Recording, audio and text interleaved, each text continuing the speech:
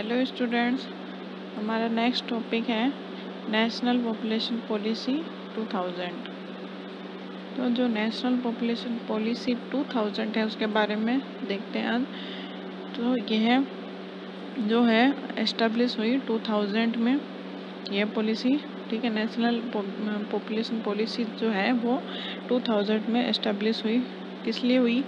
To control the growth of country population ठीक है? Country की पॉपुलेशन को कंट्रोल करने के लिए। और जिसका प्राइमरी गोल क्या था कि जो टोटल फर्टिलिटी रेट है, उसको कम किया जाए टू 2.1 ठीक है? बाय 2010 2010 तक कम किया जाए विच हैज़ नेवर अचीव्ड जो कि अचीव नहीं हो पाया।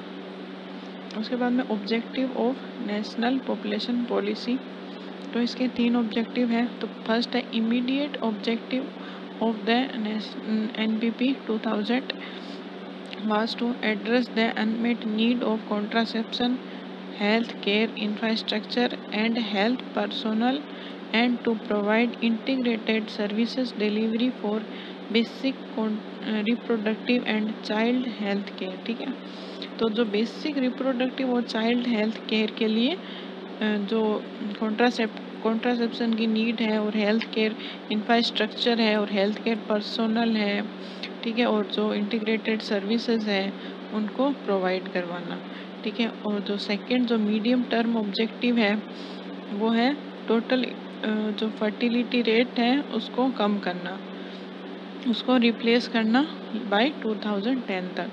एंड जो थर्ड है, वो है लॉन्ग टर्म ऑब्जेक्टिव तो वो है was to achieve a stable population by 2045 मतलब जो 2045 तक है, वो जो है पॉपुलेशन को स्टेबल करना, ठीक है? जो स्टेबल करना for sustain economical growth social development and environmental protection तो ये सब प्रोवाइड करके पॉपुलेशन को स्टेबल करना। उसके बाद में है target of NPP was as follow जो तो टारगेट क्या क्या है? तो सबसे पहला है। इस प्रोग्राम का टारगेट तो सबसे पहला है to address the unmet need of basic reproductive child health services supplies and infrastructure ठीक है? जो नीड है बेसिक जो रिप्रोडक्टिव और चाइल्ड हेल्थ सर्विसेज़ को जो नीड है, उनकी सप्लाई करना और इंफ्रास्ट्रक्चर जो है, उस नीड को पूरा करना। उसके बाद में to make school education school education को अप टू फोर्टीन ईयर तक की एज तक फ्री करना और elementary and reproductive drop out जो ड्यूज ड्रॉप आउट जो ड्रॉप आउट हैं प्राइमरी और सेकेंडरी स्कूल लेवल के जो बच्चे हैं below twenty percent of boys and girl तो उनके जो ड्रॉप आउट हो रहे हैं, उनको भी रिड्यूस करना, ठीक है? और to reduce infant mortality rate infant mortality को भी रिड्यूस करना टू लेस देन कितना रिड्यूस करना उसको तो एक हज़ार लाइव बर्थ में से दो थर्टी जो हो रहे हैं आईएमआर तो उनको भी, उन, उनको कम करना। और जो उसके बाद में एमएमआर को भी कम करना। मेटरनल मोर्टेलिटी का जो रेशो है, उसको भी कम करना। तो उसको भी वन लेख लाइव बर्थ में से जो सौ, जो एमएमआर हो रही हैं तो सौ में से भी कम करना। To achieve universal immunisation of children ठीक है? जो चिल्ड्रन है, उनके इम्यूनाइजेशन यूनिवर्सल इम्यूनाइजेशन को भी अच्छी मतलब जो चिल्ड्रन है, उन सभी में इम्यूनाइजेशन करवाना, ठीक है? उसके बाद में to promote delay marriage to delay marriage को प्रमोट करना फॉर गर्ल्स ठीक है? Not earlier than eighteen and preferable after twenty year ठीक है? उसके बाद में to achieve eighty percent institutional delivery institutional delivery को अचीव करना करना एट्टी परसेंट तक, ठीक है? Hundred percent delivery conducted by trained person ठीक है? To achieve universal access to various contraceptive method ठीक है? जो वेरियस कॉन्ट्रासेप्टिव मेथड है, उनको भी, जो, उनका जो यूनिवर्सल एसेस है, उनको अचीव करना। उसके बाद में to achieve hundred percent registration of birth जो बर्थ है, उनका हंड्रेड परसेंट रजिस्ट्रेशन करवाना बर्थ डेथ और मैरिज और प्रेगनेंसी सभी का हंड्रेड परसेंट रजिस्ट्रेशन करवाना। उसके बाद में to control and spread the acquired immune deficiency मतलब जो एड्स है, उसके स्प्रेड को कंट्रोल करना और promote greater collaboration between the management of reproductive tract infection ठीक है? आर का मैनेजमेंट करना और सेक्सुअली ट्रांसमिटेड डिज़ीज़ का मैनेजमेंट करना और नेशनल एड कंट्रोल ऑर्गेनाइजेशन है तो उसका भी उसको प्रमोट करना और उसको मेंटेन रखना। ठीक है तो ये इसके, उसके बाद में इसका एक्शन प्लान तो action plan of N P P two thousand क्या क्या है? इसके कुछ एक्शन देखते हैं हम। तो फ़र्स्ट है ऑपरेशनल स्ट्रेटजी तो इसमें है to converge services delivery at village level ठीक है? तो सर्विसेज़ है, उनको विलेज लेवल तक डिलीवर करवाना और utilise village self help group to organise and provide basic services to people ठीक है? उसके बाद में सेकंड है improving women for improve health and nutrition ठीक है? वुमेंस के हेल्थ एंड न्यूट्रिशन को इम्प्रूवमेंट करना तो कैसे करना? To create an amicable environment for women and children to benefit from reproductive and child health programme तो जो इन वुमेन और चाइल्ड हैं, उनके लिए एक सौहार्दपूर्ण इन्वायरमेंट क्रिएट करना, जिससे कि रिप्रोडक्टिव और चाइल्ड हेल्थ प्रोग्राम में बेनिफिट हो सके। उसके बाद में to have more children care centre to have more children care centre in rural area urban मतलब जो चाइल्ड केयर सेंटर्स होते हैं, वो भी प्रोवाइड करवाना रूरल एरियाज़ में और अर्बन स्लम्स एरिया में, जहाँ पर जो वुमेंस हैं, वो जो वर्कर्स होती हैं, जो घर के बाहर जाके काम करती हैं और जो अपने बच्चों को जो छोड़ के जाती हैं उनके लिए, ठीक है? उसके बाद में to pursue drinking water scheme for increase increasing access of portable water ठीक। उसके बाद में to give incentive to household during energy serving saving devices ठीक है। तो एनर्जी सेविंग डिवाइसेस है हाउस होल्ड में वो भी प्रोवाइड करना, जैसे कि सोलर कुकर्स हैं मेकिंग सैनिटेशन फैसिलिटीज़ ठीक है। उसके बाद में एक्सटेंडिंग टेलीफोन फैसिलिटीज़ ठीक है। this will empower household. उसके बाद में थर्ड है improving child health services child health services को इम्प्रूव करना, कैसे? Support community activities to monitor early and educate antenatal intranatal and postnatal care with focus on neonatal care and nutrition ठीक है? तो जो एंटीनेटल इंटरनेट और post natal है, जो पीरियड है, उनको उनकी अर्ली मॉनिटरिंग करना, उनकी केयर करना, ठीक है? और न्योनेटल हेल्थ केयर पे फोकस रखना और न्यूट्रिशन पे फोकस रखना, ठीक है? To pursue compulsory registration of birth in coordination with ICDS programme ठीक है? ICDS प्रोग्राम के थ्रू वो जो बर्थ रजिस्ट्रेशन है, वो कंपलसरी करवाना, और उसके बाद after birth of a child provide counselling and advocacy about contraceptive for wellbeing of mother and baby तो बर्थ के बाद में बर्थ के बाद में जो काउंसलिंग है, वो प्रोवाइड करना एडवोकेसी एडवोकेसी प्रोवाइड करना किस लिए? कॉन्ट्रासेप्शन के लिए, ठीक है? जो मदर और बेबी के लिए, दोनों के लिए वेल वेलबिंग हो तो ऐसे कॉन्ट्रासेप्टिव की काउंसलिंग करना। उसके बाद में improve capacity of health centre in basic midwifery services ठीक है? और essential neonatal care include management of sick neonate outside hospital ठीक है? उसके बाद में मतलब इसका क्या मतलब जो न्यूनेटल जो इसेंशियल न्यूनेटल केयर है, वो प्रोवाइड करना। जो सिक न्यूनेट है आउटसाइड हॉस्पिटल में, उनके लिए भी प्रोवाइड करवाना। जो बेसिक केयर सेंटर्स हैं, वो प्रोवाइड करवाना। उसके बाद में sanitise the train health personnel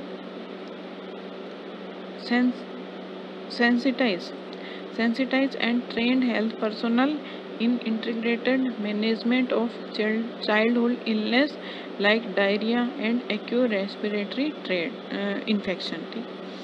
उसके बाद में फोर्थ है meeting the unmet need of family welfare services तो